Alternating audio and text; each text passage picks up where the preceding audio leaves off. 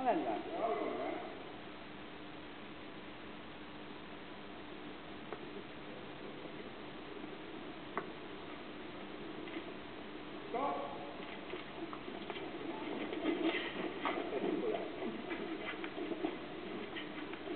aga mine äkki kõvemalt.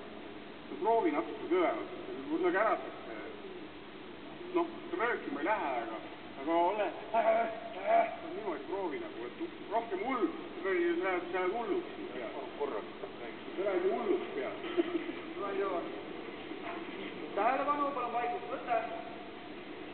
mootor,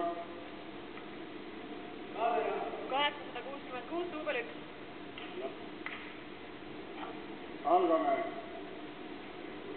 Magnus Nerdlang, Selmus Luuksvaan, Tervendet mit Malgares und Valgares Selesi, Mertoon, Lik-, Sabat, Mertoon, Mertoon, Lik-, Seebat, Vaks,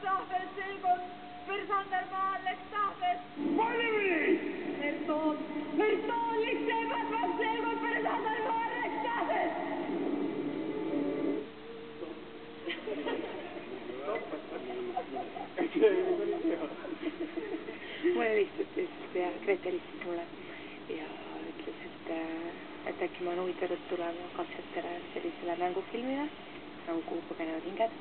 Ja ma olin loomulikult nõus kohe tulema. Ja siis ma käisingi paar korda ja ma sattusin isegi Anniga ehk siis Ragnega nagu äh, juba katsetel kokku, et me tegime neid dialoogi seal koos ja see oligi nagu suur üllatus, kui lõpuks ma kuulsin, et me nagu olemegi koos lõpuks valitud sinna nendesse rollidesse. ja ma olin, siis VHK teatri Adus ja siis me olime Rakveres äh, kooliteatrite festivalil ja seal Rainer nägi meid ja saatis meili. ja siis ma käisin ka proo-, proovivõtetel väga korduvalt. kuni lõpuks helistati, et noh, hakkame filmist tegema. mul, mul oli samamoodi alguses meid vaadati veel, et kumb, kumb nagu, kumba mängib. Segadus oli seal jah, et Rainer vahepeal mõtles äkki vahetada üldse rollid ära. aga siis lõpuks, lõpuks ikkagi jäi nii, et ja ei, ma ei jäta, ma jään Ragne Anni. no vot, näed, et juba läheb jälle.